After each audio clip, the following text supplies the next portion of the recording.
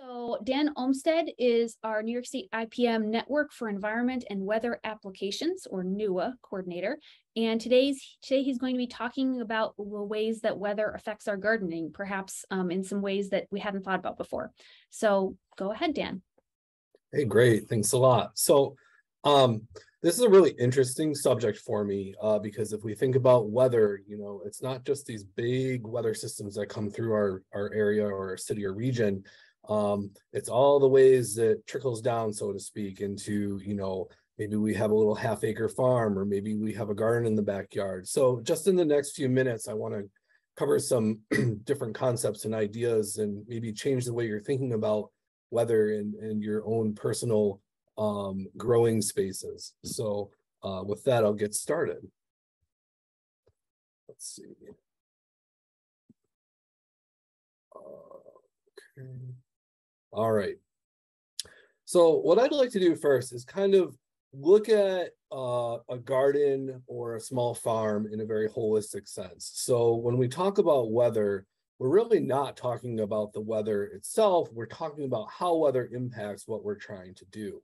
And when we're trying to grow plants, um, I see it kind of as this trifecta, or um, I have on the screen uh, what's called a Venn diagram where things are overlaid. So they all have interactions and whatnot. So we have weather, but we also have, um, if we're talking about rain, for example, what happens to that water when it goes into the soil, but then we also have what um, happens and how the plants interact with that water, how they're able to get it.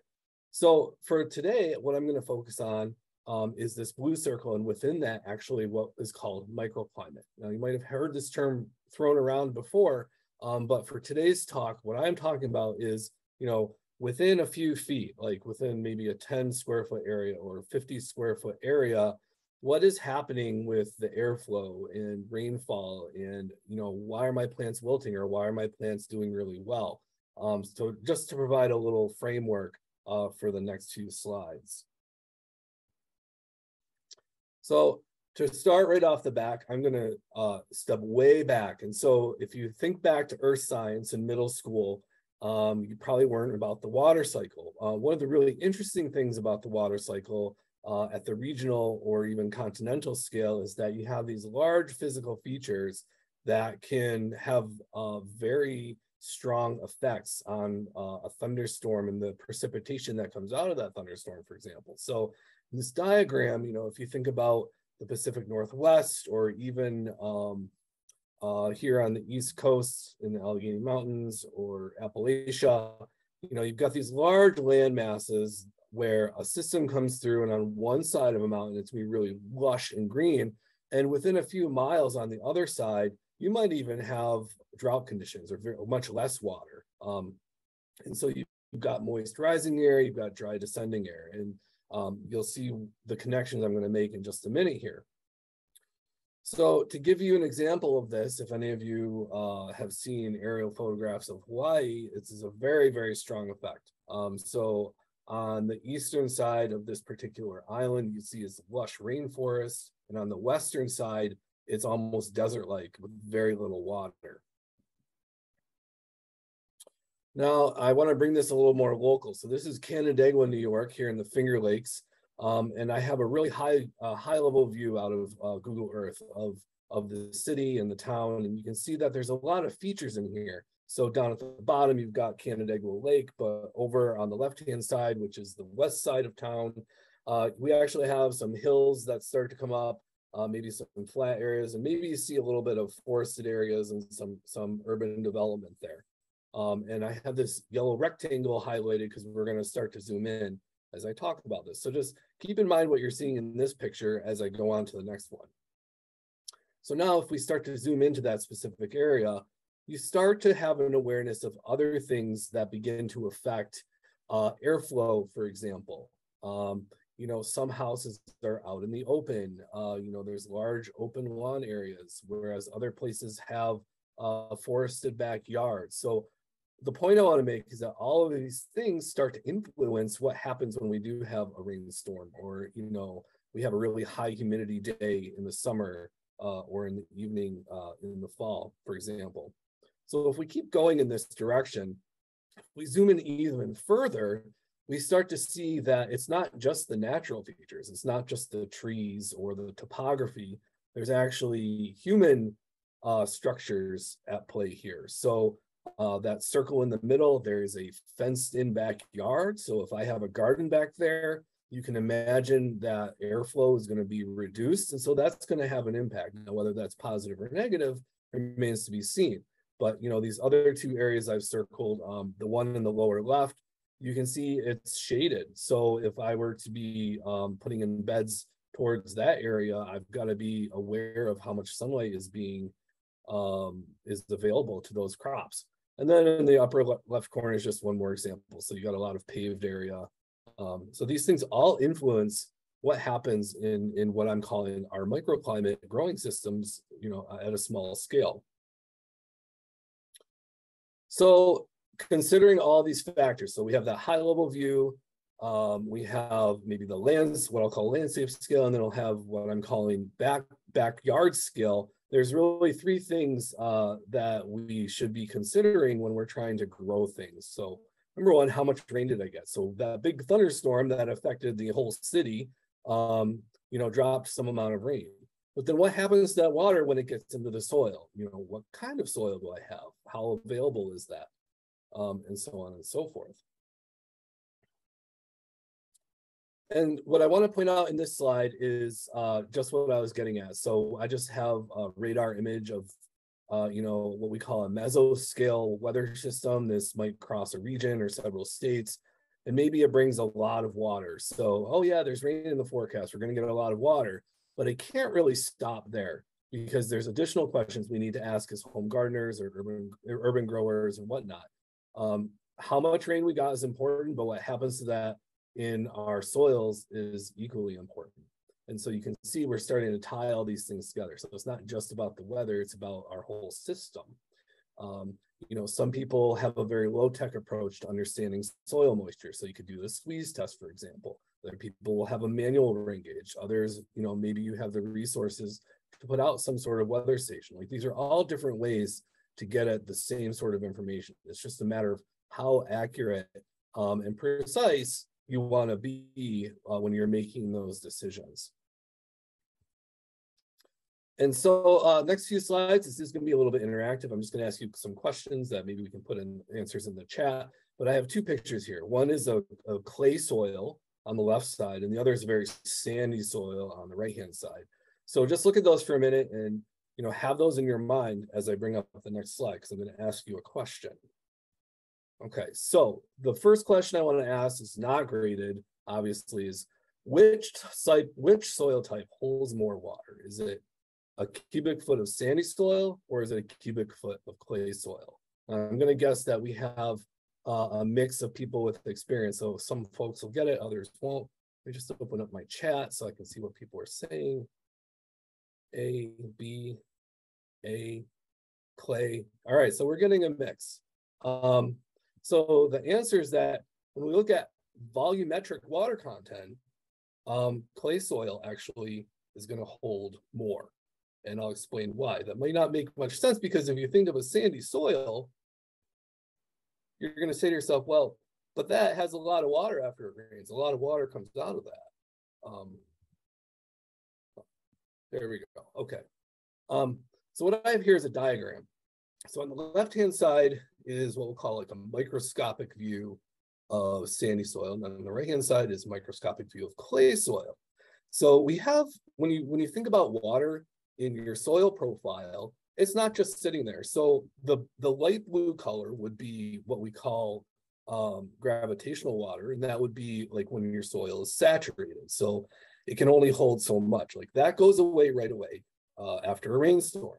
But then you'll see we've got this thicker band of a darker blue color. So that represents um, capillary water. So there's actually like this physical interaction going on with the soil particles that allows it to somewhat hold on uh, to that water. And then um, the last the last layer there, that inner circle represents um, the type of soil that, or the type of water that holds on really, really tight.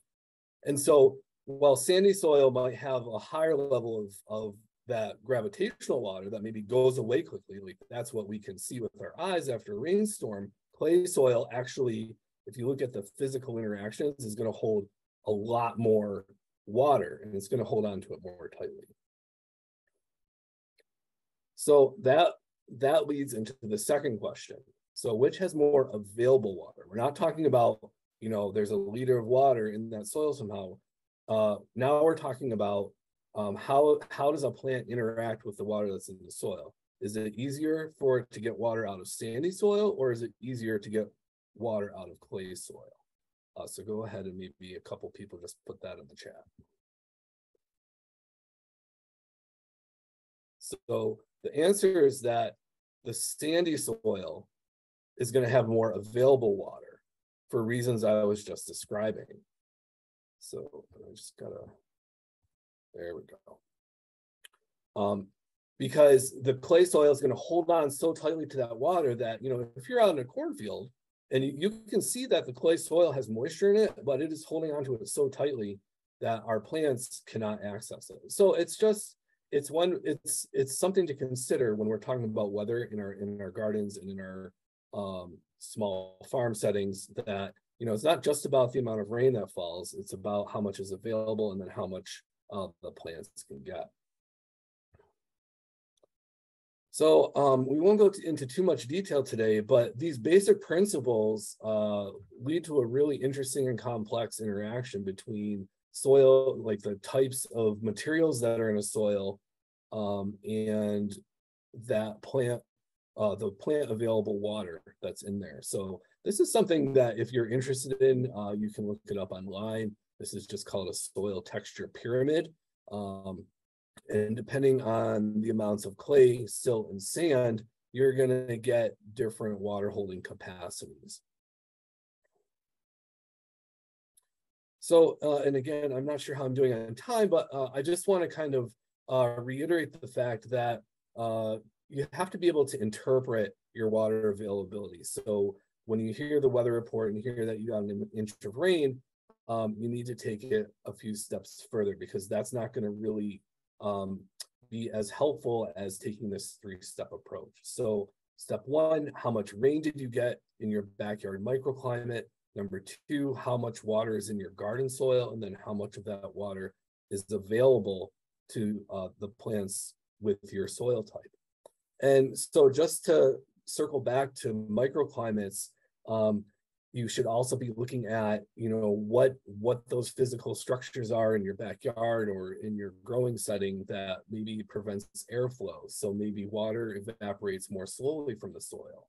Uh, if you're planting right next to a fence maybe you're going to get a shadow during the day or even like a little bit of a rain shadow if you if you um, have a windy storm come through and things like that. So um, i think uh, if you're interested in getting more information about this sort of stuff, you can reach out to uh, your Cornell Cooperative Extension collaborators, uh, as well as Master Gardener programs. Um, and you can also reach out to us here at the New York State Integrated Pest Management Program. One final thing I am going to um, close out by saying is that, you know, for a very long time, uh, we have we've done this sort of work on, at uh, at the farm level. So uh, we have this network that Amara mentioned, the uh, NEWA, the Network for Environment and Weather Applications. But moving forward, um, we're going to continue to support that, but we also want to start expanding the availability of our resources to support the small growers, to support the backyard gardeners. Um, and that means a lot of different things in different ways. Uh, you know, this needs to be accessible. Um, weather stations can be expensive. So we're trying to look for ways to get around that um, and understand really what these needs are uh, in this new type of, of setting um, so that we can start to bring more data uh, and some more informed um, decision-making processes uh, to these systems. So with that, um, I think I'll end. Hopefully there's time for questions. I know that was a really quick overview, uh, but I was very limited on time. So thank you. Thank you, Dan. Um, we do have a few minutes for questions. Um, while I'm waiting for questions to come into the chat, I actually have a question for you. Yeah. So you showed us uh, pictures of different rain gauges and weather stations. If I'm going shopping for like a fairly basic rain gauge, are there any differences in the design types or things I should be thinking about if I'm picking out a rain gauge for home? Uh, I think in the home setting, it you don't have to be really precise. It's to give you a sense of how much rain fell. Like, uh, you know, 1.1 inches versus 1.2 inches isn't going to make um, a huge difference. I think one thing you do want to consider is uh, make sure you get a model that doesn't allow evaporation quickly because if you get a rainstorm in the morning, for example, and you don't come home for four or five hours, a certain amount of that water might evaporate out of your your rain gauge. So like um, maybe the one in the middle might be slightly better than the one um, elsewhere, but it's you have to make that decision on a case by case basis.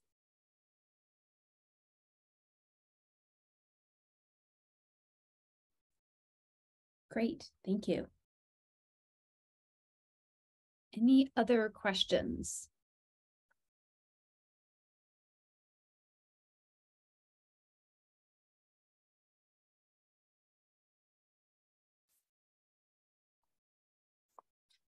All right. So thorough, Dan. Sorry, what was that, Joellen? I, I said that Dan was so thorough. Yes, yes. Um, there is there. I think the question is about whether the website has a great rain gauge. Maybe, um, maybe I, the question might be about what types of um rain gauges or weather stations are used for the NEWA forecasting. Um, if you could put that information in the chat and we could transition into Joellen's talk, will that work? Yep. Okay, great. Um, or if I didn't get the question right, um, please feel free to clarify in the chat as well. Um, all right, so our IPM minute presenter today is Joellen Lampman. Um, and Joellen, you can go ahead and start sharing your screen. I think I have given you the correct permissions. So Joellen is an IPM support specialist with the New York State IPM program. She's also our lawn IPM expert and tick expert. But today she's going to be talking about lawns and specifically mowing. So thanks for joining us, Joellen. You are very welcome. So I only have a few minutes, so let's just get going with that. So how's it growing out there? Uh, this is how grass grows over the course of, of the year. And here we are uh, right at the beginning of June, and we are at peak grass growing season. So what does this mean for what you're going to do um, with your mowing, which is the most important thing that you can do to provide yourself with really good grass. We really focused on mowing right, feeding right, and watering right. Today I'm talking about mowing. So when we're thinking about grass, we want to think of what's going on above the ground and what we actually see, um, and apply that to what's going on below the ground. So when we're managing grass, we really want to really focus on making sure that we're building robust root systems.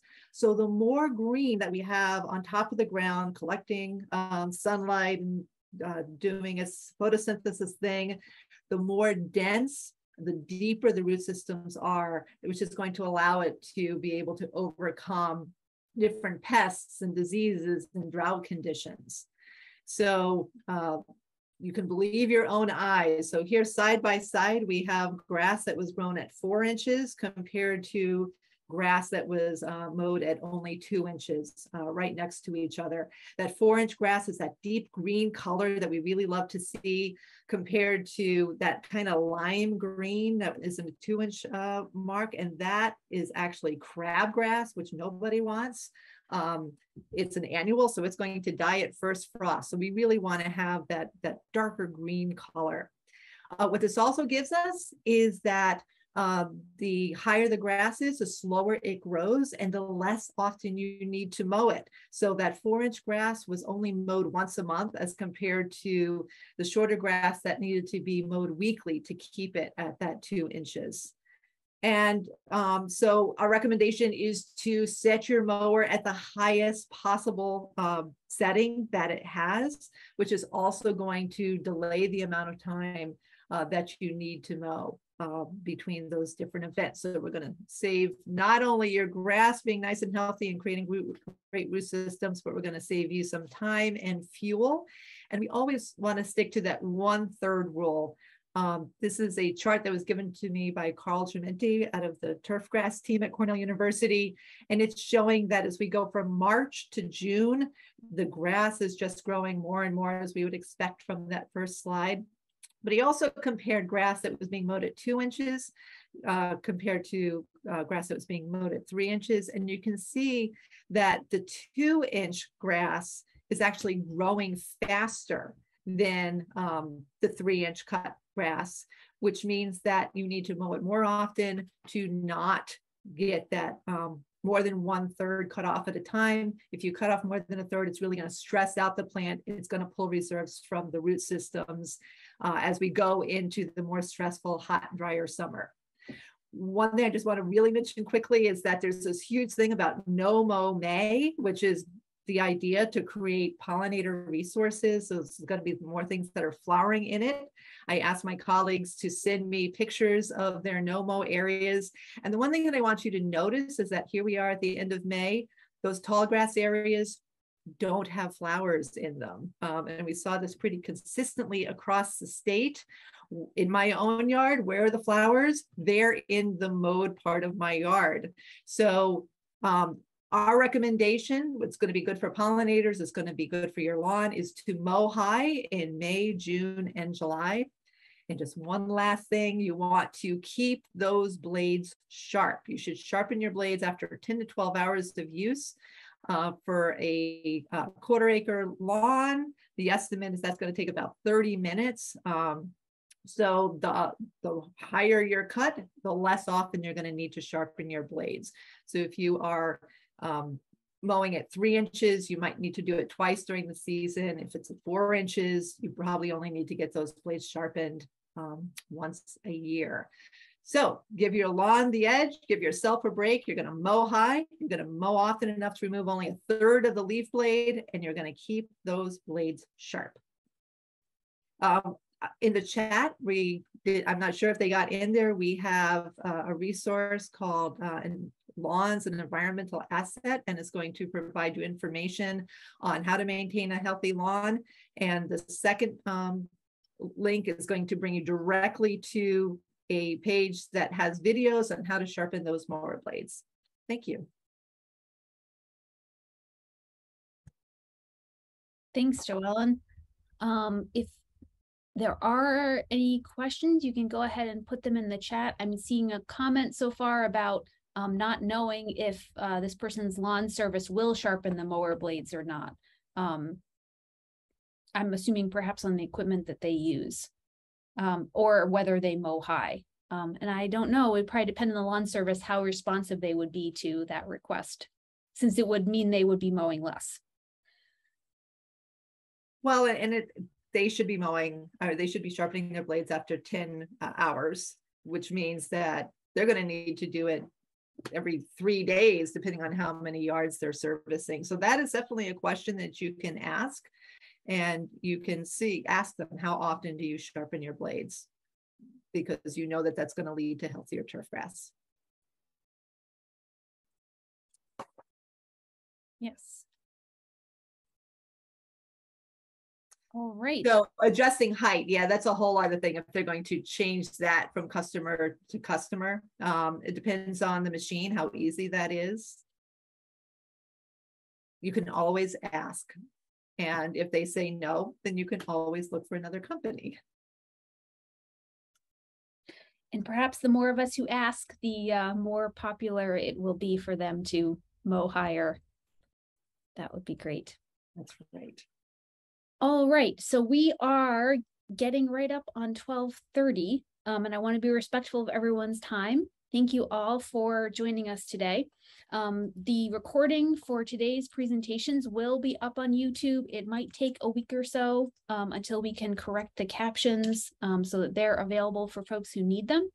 Our next What's Bugging You First Friday event is July 1st, and we'll be talking about identifying common garden tomato diseases and also avoiding squash vine borer. So, those are two topics that I know are near and dear to the hearts of many gardeners, myself included.